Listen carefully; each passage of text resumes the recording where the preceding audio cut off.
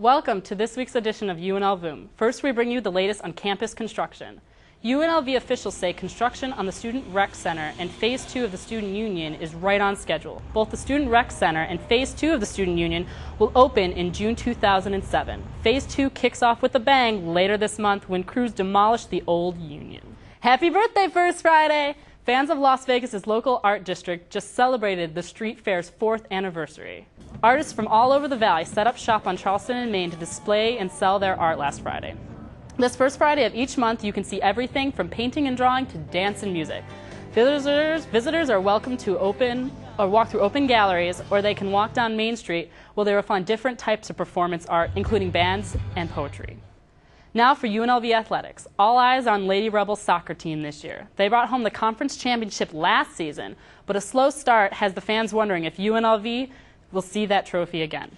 Garrett Heinrich has the story. The UNLV women's soccer team is struggling as Mountain West Conference play gets rolling. The Lady Rebels took a 5-7 and 1 record into their second conference game against San Diego State on Sunday.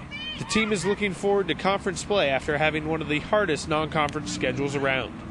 Junior forward Katie Carney is hoping the team can bounce back and repeat last year's success. To make it to NCAA's and then just win our conference tournament again because we won that last year. So if we win it again, then we get an automatic bid.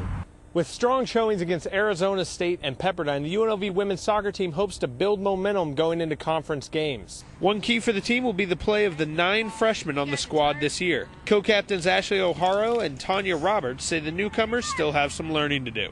They need to work hard all the time to bring bring up their game to the college level.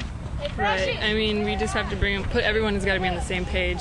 Coach Kat Mertz recently installed a new formation for the last half of the season in hopes of opening up more scoring opportunities for the forwards. With thanks to Brian Dukey, I'm Garrett Heinrich for UNLVoom. What's the most popular hangout on campus? The new student union or maybe the library? Well, one of the members of the UNLVoom staff is convinced it's the rock gardens the place to be. Here, Eric Scheinman's fantastical take on the future of the hotspot. Recently completed construction projects such as the student union and the two new levels of the parking garage are impressive to some. But none of the new projects can compare to the excitement and popularity of the newly renovated sculpture and rock garden in front of the Alta Ham Fine Arts building. The new rock garden replaced a broken down reflection pool constructed with the original building in 1982. The reflection pond, or the reflection pool, or whatever, it was more like an infection pool. It was disgusting. There was dead birds in there. It was just a hot mess. The beautiful new garden serves as a hangout hotspot for many of UNLV students, as well as a great destination for many Las Vegas tourists.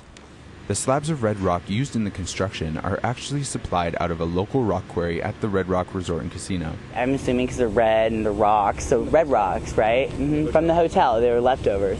The rock slabs are arranged artistically in a pyramid shaped sculpture which were designed by the people at the Luxor. The pyramid sculpture is also planned on being used as a site for future human sacrifices. With phase one of the rock sculpture garden completed, the next phases include a topless pool, high end shopping and restaurants, luxury condos, a large nightclub, and an olive garden. Olive Garden? Please, bitch. I heard the, the right Yes, here. please. Olive Garden. Olive Garden? No, those are olive trees, not Olive Garden. With still more phases in the works and a budget of 1.6 billion, planners tell us that the finished rock garden project should be completed by the year 2012. I'm Eric Scheinman reporting for UNLVoom. That wraps up UNLVoom today. Be sure to check out podcasts at rebcast.com. Come back next week to see the interview with the winner of the CSUN election. Thanks for joining us.